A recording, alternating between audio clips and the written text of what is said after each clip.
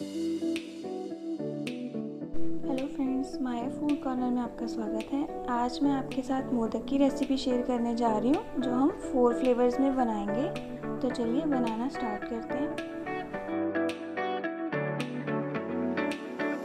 मोदक बनाने के लिए मैंने आधी कटोरी चीनी ले ली है पिसी हुई। आधी कटोरी देसी घी ली है। आप चाहे तो इसमें बटर का भी यूज़ कर सकते हैं। एक कप मैंने दूध ले लिया है। और ये मैंने मिल्क पाउडर लिया है, ये ग्राम में 200 ग्राम है। तो चलिए स्टार्ट करते हैं। सबसे पहले हम कढ़ाई में घी डाल देंगे। अभी हम गैस पर नहीं रखेंगे, पहले हम सब में मिक्सचर को बाहर ही मिक्स करेंगे। अब इसमें हम दूध ऐड कर देंगे। अब हम इसमें थोड़ा थोड़ा मिल्क पाउडर डालकर इसे मिक्स करते जाएँगे। मिल्क पाउडर को हम एक साथ नहीं डालेंगे क्योंकि एक साथ डालने से इसमें लम्स आ जाते हैं।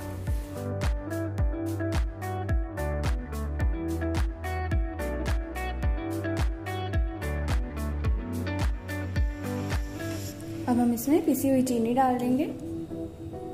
चीनी आप अपने टेस्ट के अकॉर्डिंग कम या ज़्यादा कर सकते हैं। मिल्क पाउडर वैसे मीठा होता है तो मैं इसमें चीनी हाफ़ कप ही डाल रही हूँ।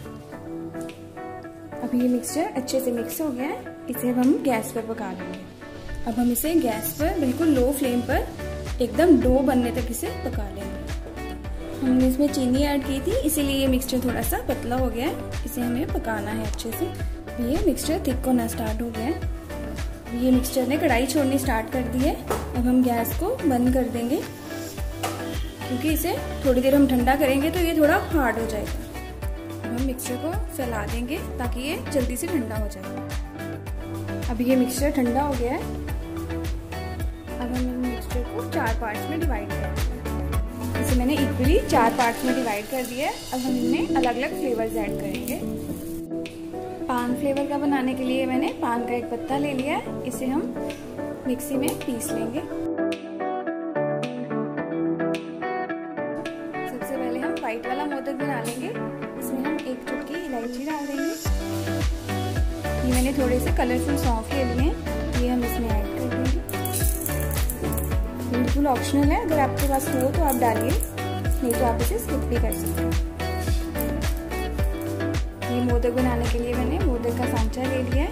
इसे हम पहले घी से थोड़ा ग्रीस कर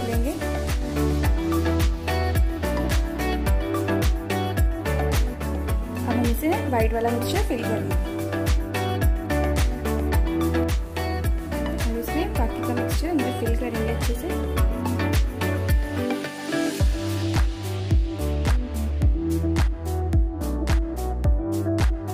ये देखिए, कितना सुंदर मोदक बनकर तैयार हो गया है। इसी तरह से हम बाकी भी बना लेंगे।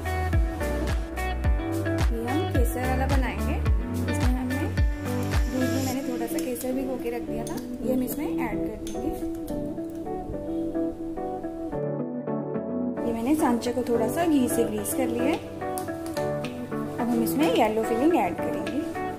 इसमें मैंने थोड़ी सी फिलिंग ऐड कर ली है। अब इसमें थोड़ा सा ड्राई फ्रूट डालेंगे।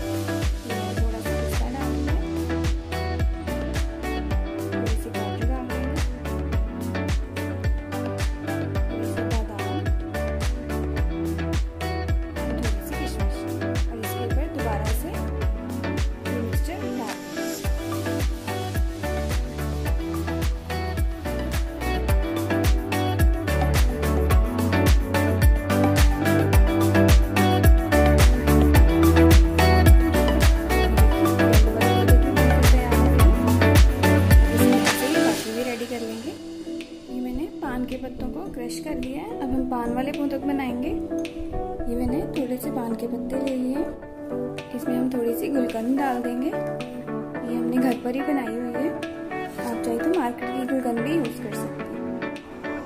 ये मैंने थोड़े से सुपारी वाले सौंफ ले लिए हैं। ये हम इसमें ऐड करेंगे। ये ऑप्शनल है। ये आप डालना चाहे तो आप डाल सकते हैं। इसे मिक्स कर लेंगे अच्छे से। ग्रीन वाले मोदक बनाएँगे। ये मैंने बिल्कुल थोड़ा सा इसमें ग्रीन फ़ूड कलर डाल देंगे। और इसे मिक्स कर लेंगे। हम इसमें ग्रीन वाली फिलिंग ऐड करेंगे।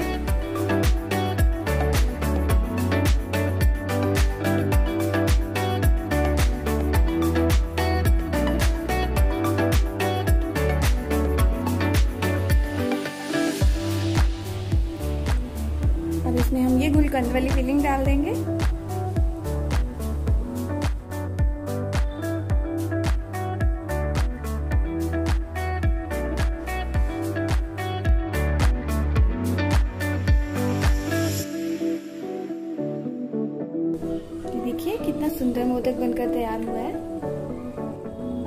रोज वाला रेडी कर लेंगे। ये हम थोड़ी सी गुलकंद ले लेंगे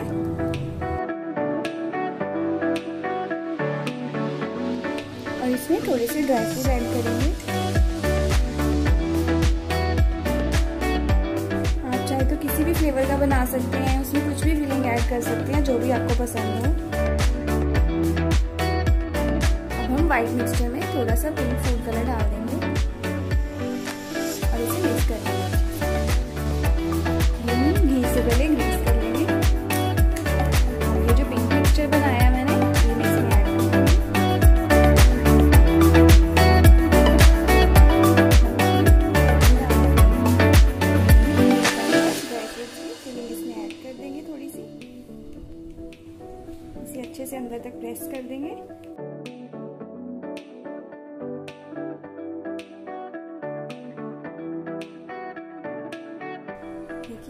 सुंदर मोदक बनकर तैयार हो गए।